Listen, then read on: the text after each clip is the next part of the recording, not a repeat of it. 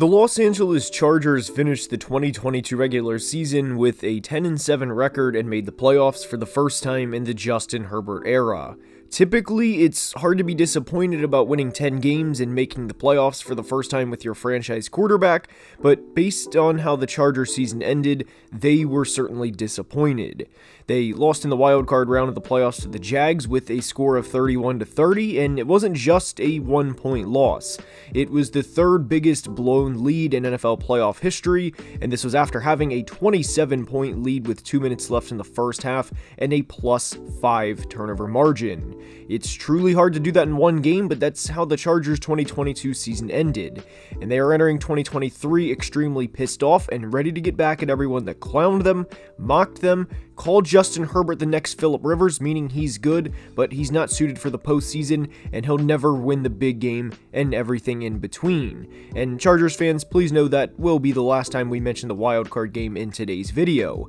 But like we hear every year with the Chargers, they won the offseason and they're ready to take the next step. But will they actually do it this time? Well, that's what we're going to break down in today's video. Now let's begin.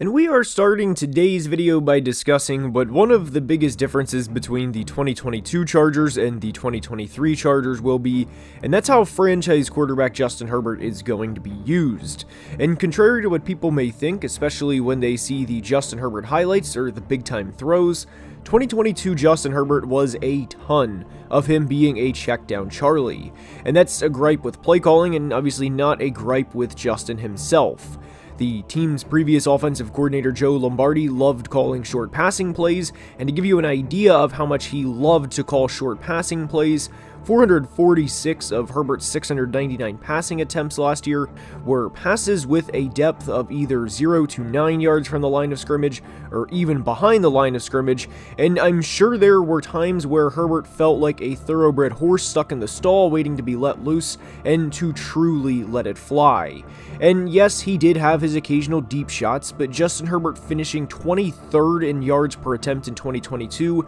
is something that will not happen in 2023 and new offensive coordinator Kellen Moore will ensure of this. And for reference, Dak Prescott finished 13th in yards per attempt last year, with an average of half a yard more per passing attempt. And the Chargers recently gave Justin Herbert a contract north of $250 million, and they did not give him that contract with the vision of him finishing second in passing attempts with a depth from behind the line of scrimmage. And given everything Justin went through last year, whether it was him dealing with his fair share of injuries, most notably the rib injury, or having Mike Williams and Keenan Allen both miss time last year, as combined they played just 23 of the 34 possible games they could have played last year, and where 34 games comes from is 17 games apiece times 2, for anyone wondering. And those two receivers missing time, despite how good each player is individually, is nothing new, and the Chargers went out this offseason and drafted wide receiver Quentin Johnston in the first round. And if we can get a full 17 games of all three receivers on the field at the same time, combined with Austin Ekeler out of the backfield, well, simply put, the 2023 Chargers offense is going to be dangerous, especially when they're in 11 personnel with Gerald Everett being used as a big receiver too.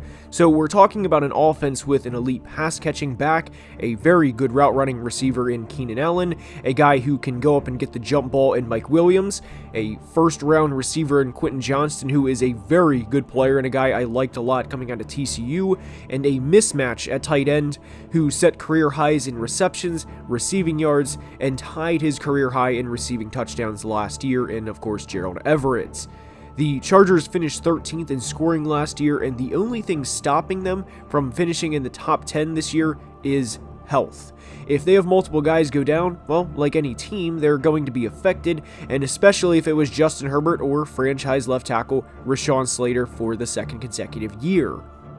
And within the Chargers 2023 preview and team outlook, a lot of people naturally talk about Quentin Johnston because he is the prized first round pick, but I don't see a lot of people discussing just how much it's going to mean to the Chargers, and especially Justin Herbert, that Rashawn Slater is back. And with Rashawn Slater coming back, that will not only help out Justin Herbert, but should help out 2022 first round pick left guard Zion Johnson too. Zion will have the opportunity of a career to play between Rashawn Slater and two-time All-Pro Corey Linsley after not having a great rookie season. Zion allowed 40 pressures in his rookie year as well as 5 sacks, and there was definitely a learning curve for him. Jamaree Salyer picked up at left tackle when Slater went down for the year with a ruptured bicep, and definitely went through his fair share of growing pains too, but with a year of experience under both of their belts, they should be ready to step up in 2023, and the Chargers will certainly need them to.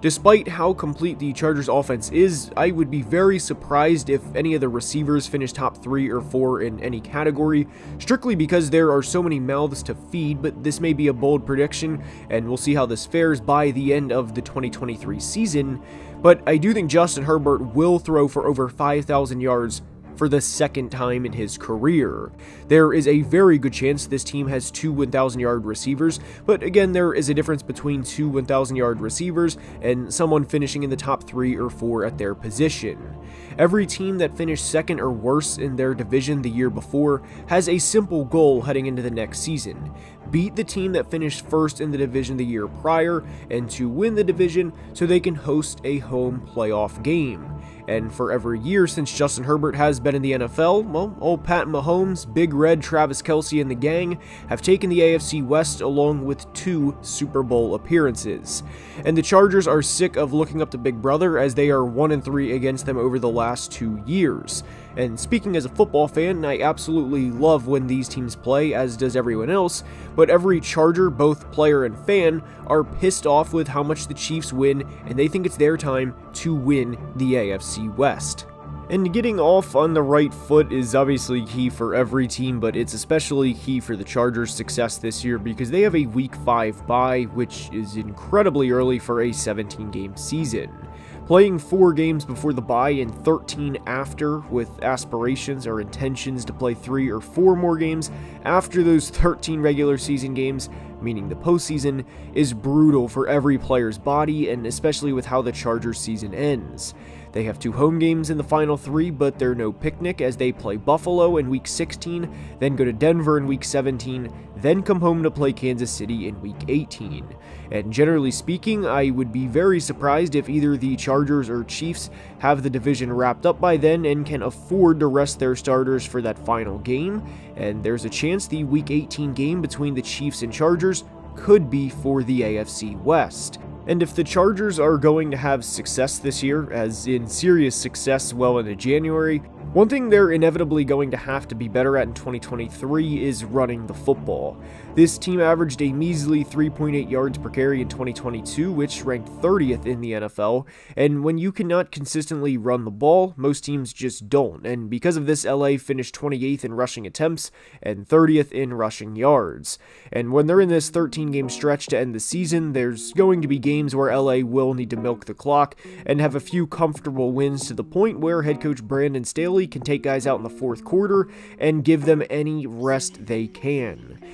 2023 will also be a career determining year for cornerback JC Jackson. JC signed a five year deal during the 2022 offseason for over $80 million after coming over from New England, and his first season in LA could not have gone worse. He had a season ending injury, but even before that, he was getting picked on and allowed four touchdowns in five games. And per PFF, when he was targeted last year, he was allowing a 152.4 passer rating, and for reference, a perfect passer rating is 158.3. And I do like a lot of what the Chargers have done over the past few years in terms of how they've constructed their roster, and hand up, I like the JC Jackson signing when it was made but they need him to step up this year, and if he does, the way we saw him during his time in New England, this defense could be, and should be, one of the better units in all of football. And like we seemingly say every year with the Chargers when it comes to their high preseason expectations, it boils down to them staying healthy, and especially from a pass rushing standpoint this year. Having Joey Bosa and Khalil Mack each for a full 17 games to get after the quarterback in the AFC is going to be huge, and there's a good chance each player has double digit sacks this year. But one thing to remember, and all Chargers fans are certainly aware of this, the pass rush does not stop with just those two guys. Morgan Fox is a good veteran lineman, and he had six and a half sacks last year, and it was his second time in three years registering at least six sacks. Morgan also had 40 pressures in 2022, and anytime you can have a third guy generate 40 or more pressures in a season, especially when the top two pass rushers are multiple time Pro Bowlers, and in Khalil's case, a former Defensive Player of the Year award winner, is huge. Because, as we've said and time and time again on this channel, opposing offensive lines have to pick their battles, and whether it's Morgan Fox or rookie Tuli Tuipulotu, these guys are going to have as favorable of a situation as a pass rusher could ever ask for. And for Tuipulotu specifically, for him to walk into a situation at just 20 years old and to be able to learn from both Bosa and Mack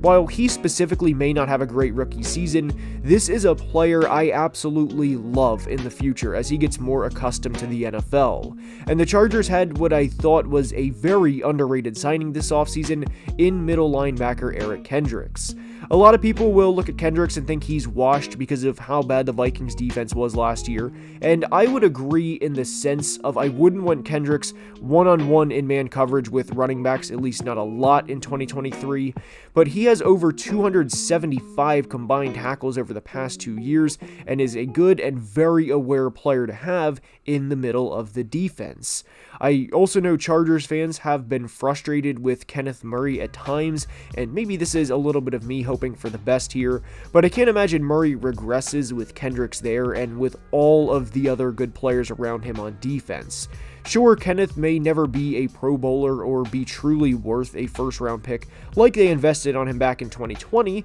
but I don't think he'll stick out like a sore thumb. This team allowed 30 points or more in 5 regular season games last year and were 0 5 in those games. And they finished 21st in defensive scoring last year, and with players coming back, I would be very surprised if that happens again this year. And of course, we can't discuss the Chargers defense without mentioning one of the best players in all of football, that of course being Derwin James.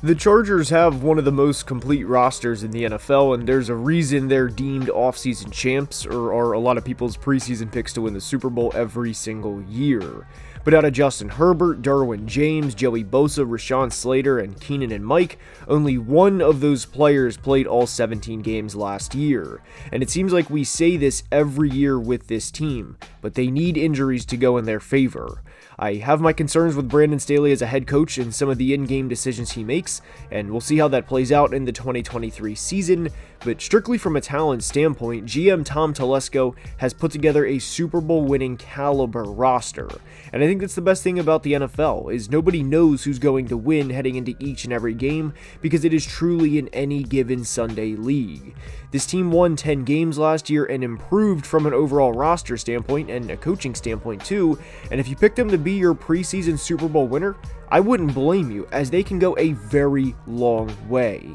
The team MVP, breakout players, ceiling, and floor are on the screen, and I hope you enjoyed, and if you did, please like the video and subscribe, as only about 22% of people watching are subscribed, and it makes a big difference. And until the next team preview, please be safe and have a great day. Love you guys.